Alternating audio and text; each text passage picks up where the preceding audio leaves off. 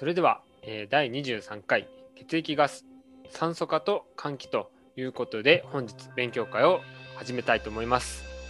非常にここ重要になりますので前回22回の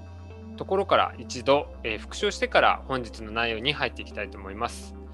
まず今日ある換気のところからまず確認をしていきます。換気ですが、えー、口や鼻から、えー、気管気管支を通って肺に入っていくというところ。あとは肺からまた気管を通って口鼻から空気の出入りをするというこれが換気と言いました。口鼻気管気管支を通って肺肺胞まで行く。この流れですね。これが換気というというのは前回やりました。これが例えば気管や、えー、肺え気管支あるいは肺胞こういったところに障害が起こった場合じゃあどういうことが起こるかということでここの空気の出入りが障害されますのでまずは、え酸素が入ってきません。で前回やりましたけども内呼吸は、えずっと行われますので体の中の酸素は使われているのにもかかわらず入ってこないということで酸素は減ります。反対に二酸化炭素は、え各細胞から出た二酸化炭素を外に出せないので体の中では CO2 がどんどん作られる。ただし二酸化炭素として外に吐き出せない。これが換気の障害が起こっている状態なので酸素とは反対に二酸化炭素は上がると。こういった体の中での酸素と二酸化炭素の動きになります。これが換気。そして換気障害が起こった場合の酸素二酸化炭素の動きです。続いて、酸素化です。酸素化は先ほど、え口から入って肺まで空気を運んだところから先の話になります。え空気が入ってきて肺胞まで空気が入ったところです。肺胞のところを、え図で書いておりますけれども肺胞まで来た空気が、えここ間質から、え血管の血流に入ります。でヘモグロビンを使って、え体全身に運ばれていくというところがこれが酸素化に関わる部分で。ここに障害がある場合例えば、え肺胞から血管にここの途中ここの間質間質の部分に障害が起こった場合やあるいはヘモグロビンが少ない状態、まあ、いわゆる貧血あるいは心不全などのこの血流自体がうまくいってない場合等に障害がある場合は先ほどとはちょっと違った動きになります酸素が下がって二酸化炭素はあまり変わらないというような体の中でのそれぞれの動きになります。というのも例えば間質が悪い場合酸素はヘモグロビンを使って運ばれるわけですけれども実は CO2 に比べてここ酸素は血流に乗りにくかったりとかヘモグロビンで運ばれなきゃいけないといった条件がありますので酸素はなかなか入らないんですけれども CO2 は反対にここ出入りが非常に酸素に比べて出やすいという性質を持ってますので酸素はなかなか入らない時に二酸化炭素はどんどんここから、えー、肺から口鼻から出ていくということで CO2 はあまりたまらないにもかかわらず酸素だけ下がっていくというところで先ほどの換気と違った障害が起こってくるのがこの酸素化が悪い状態というのは前回までです。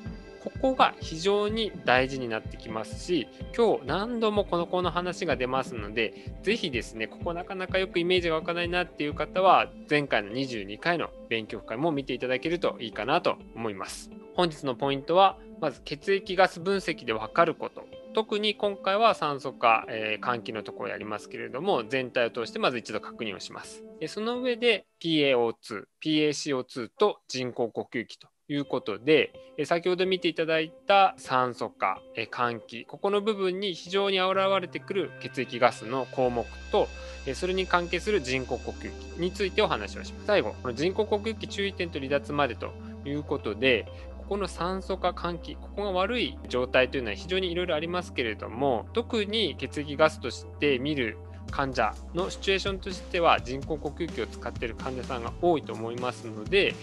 今回は人工呼吸器のところを少し抜粋してそこの、注意点と離脱するところまでというところで血液ガス分析をどういうふうに使っていくかというようなお話をさせていただきます。今回初めて血液ガスの項目を出しました、今回血液ガスシリーズと言っておりましたけれども前回22回では血液ガスのこの項目すら出てきませんでしたけどもまずは前回やった内呼吸外呼吸ここは非常に大事なんですけれどもここを理解したと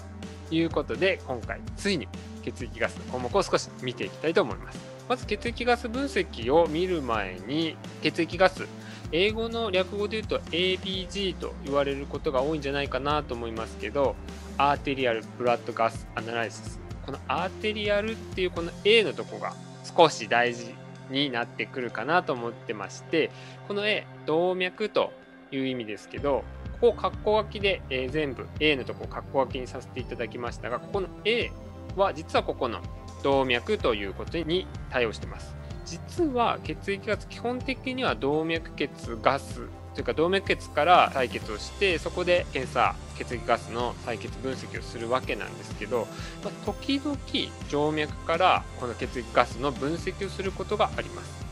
で静脈の場合はベインなので V が入るわけですけども、まあ、基本的には A なので特に注釈がない限り PO2 と言われることもあります。ただ今回はあくまで動脈血ですよっていうことで、えしっかりここ PaO2 というふうにちょっと記載をさせていただこうと思っております。動脈血どこから、え採血するかというと、まあ、当然動脈から、え採血するんですけど普通の採血の静脈の採血のように動脈を直接刺すという方法があります。もう一つは、え直接もう動脈の中にカテーテルを留置してそこから、え採血をする、まあ、いわゆる A ライン動脈ラインというのを使って、え採血する場合もあります。ただしこの動脈栓死特に動脈栓死なんですけども当然静脈に比べて動脈深い位置にえ人体の深い位置にありますので刺すのが非常に難しいということと静脈と違って出血が非常に強いというところがありまして、えここの動脈栓死は、えまドクターしかできないというふうになってます。さらに栓死した後に止血に非常に時間がかかります。基本的には先生が止血をま30分とか長い場合は抑えて止血するということで非常にリスクが高くて、え人員も取られるというのが動脈栓死になります頻繁に動脈栓死することはほとんどないかなと思いますなのでえ基本的にはこの A ライン。これ水分アセスメントのところでも少し A ライン出てきましたけどこの動脈血ガスを取るだけじゃなくて循環動態をモニターするような患者さんにこの A ラインというのが入ります。動脈血ガスを頻繁に取るというのは、まあ、ICU とか救命病棟に入るような循環が悪い A ラインが必要で24時間のモニタリングが必要な人なんかがここに該当することが多いと思いますのでまあ、血ガスをよく頻繁に取るのは、まあ、そういった病棟にいる患者さんだというようなイメージでいいかなと思います。そこまで来たところで、じゃあ血ガス少し見ていきたいと思います。まず pH です。この pH は実は今回血液ガスでわかるのは呼吸と酸塩基でしたけれども、この pH、呼吸と酸塩基の最終的な結果がこの pH になります。で今回ある酸素化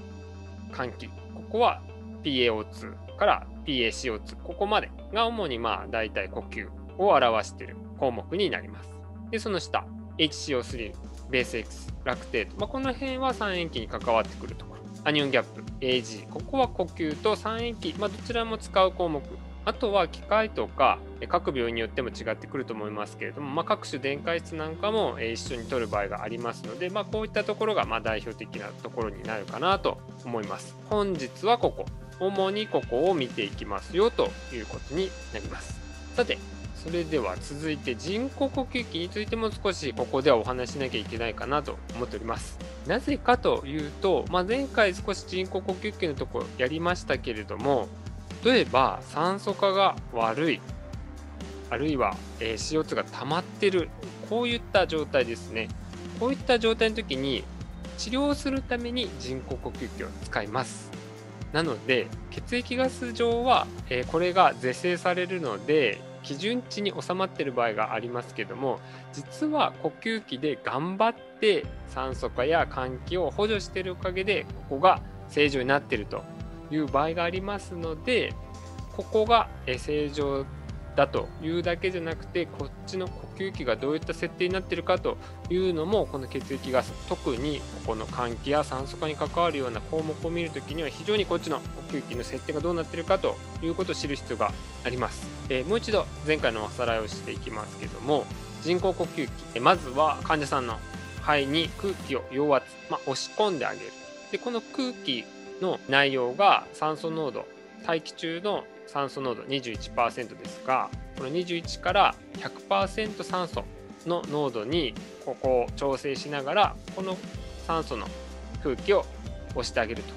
というのがこの人工呼吸器の働きになります。でこの人工呼吸器の、えー、特に酸素酸素化の方で関わってくるのがこちらに載ってる FiO2 とか P この後に説明しますけどこういったところ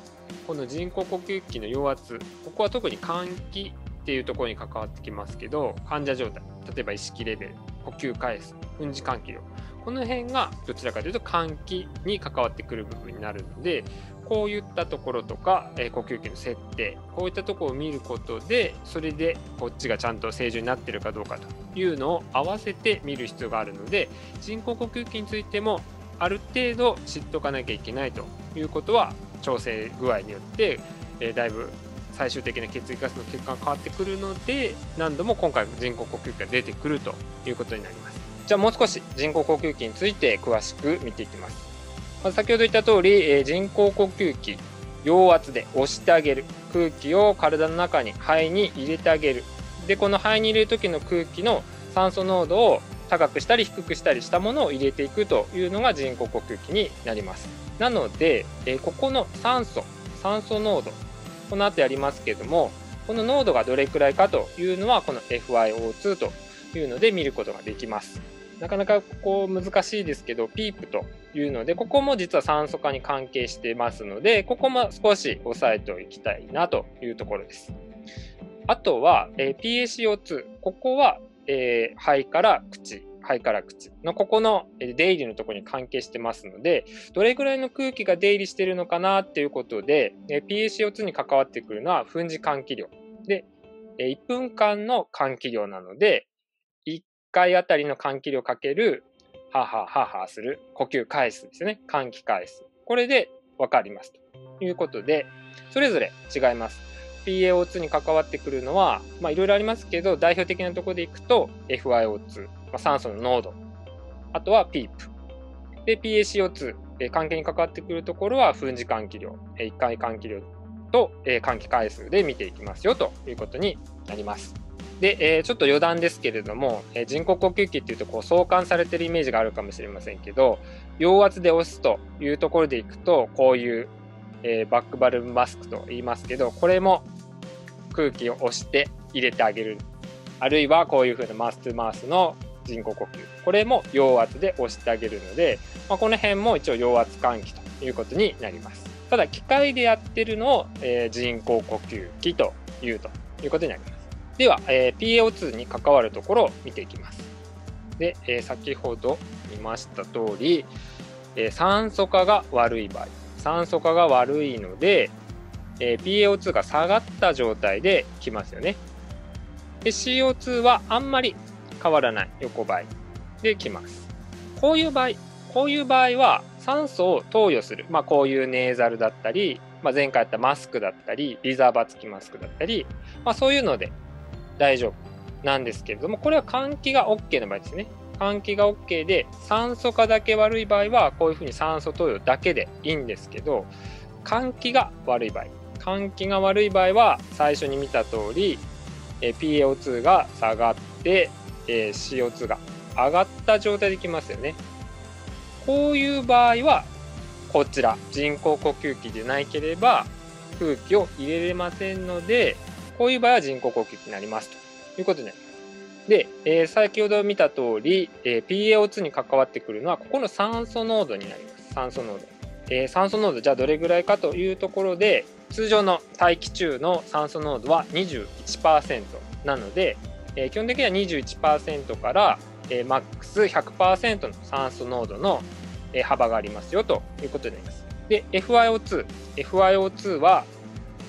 こういうふうに小数点で示す。0.21、21%から1.0100%ということで FiO2 はって聞かれたら今0.3ですとか0.5ですって言ったら50%酸素濃度0.7ですって言ったら70%酸素濃度の空気が人工呼吸器から押し出された空気の酸素濃度になっているということになります。これが FiO2 です。FiO2。じゃあこの酸素を入れてちゃんと体の中に酸素が入ってってるかなっていうのは PaO2 で見るんですね。PaO2 が最終的に体に入ってきてちゃんと体に取り込まれた酸素ということになります。なので当然濃い酸素を与えれば基本的には PaO2 が上がってくるはずですよね。なのでここ PaO2 だけ見ててもダメですし FiO2 だけ見ててもダメですよね。なのでそこを、え、バランスよく見るためにこういうふうに、えー、FiO2 分の PaO2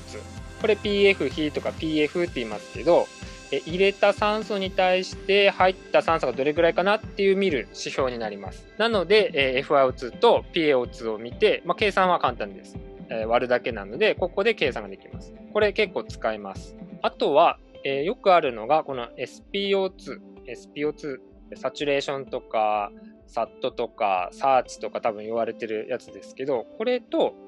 こちら、SAO2。これ何が違うかっていうと、まあ、先ほど言った通り、ここ A は動脈です。で、ここはパクタニアス、経皮的。あの指とかにつけたりしますよね。耳たぶとかつけたりしますけど、ここは末梢のところを見てるので、まあ、通常は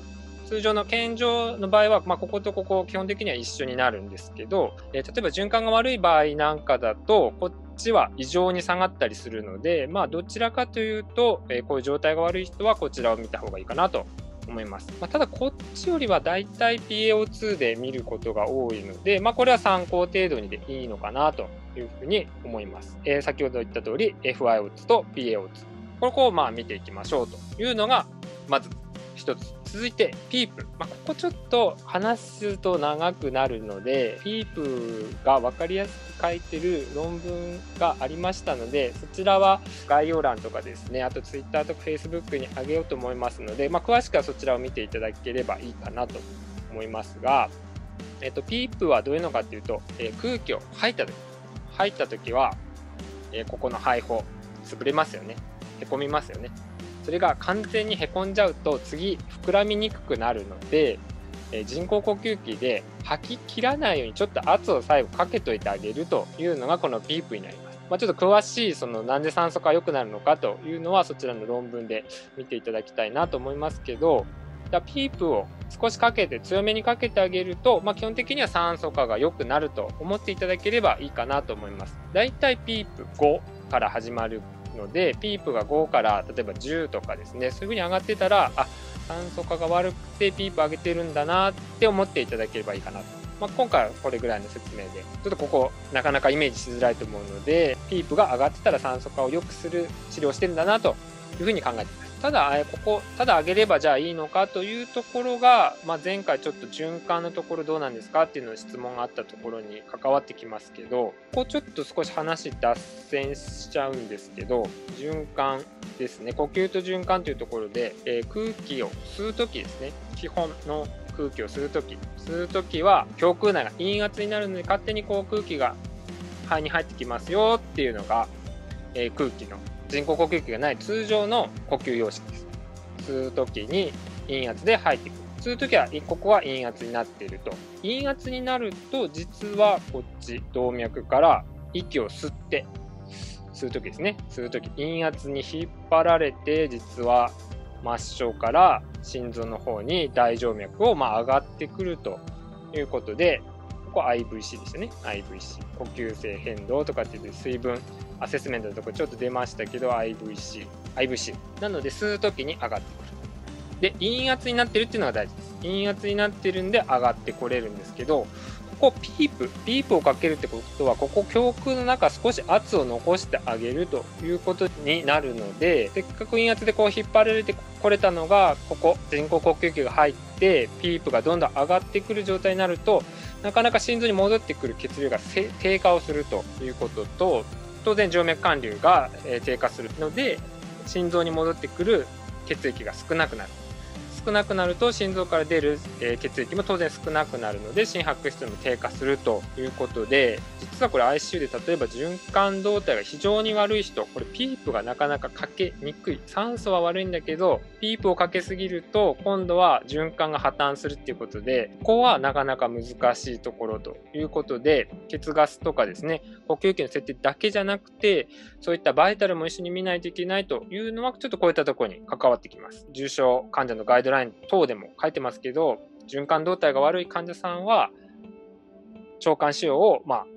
要検討ということになってます。なので、ここピープがじゃあかけれないってことは、循環動態が悪い。循環動態が悪いってことは、ちょっと腸管使用は、ちょっと保留にした方がいいのかなということを考えなきゃいけないというところでも、ちょっとここ関わってきます。栄養にも。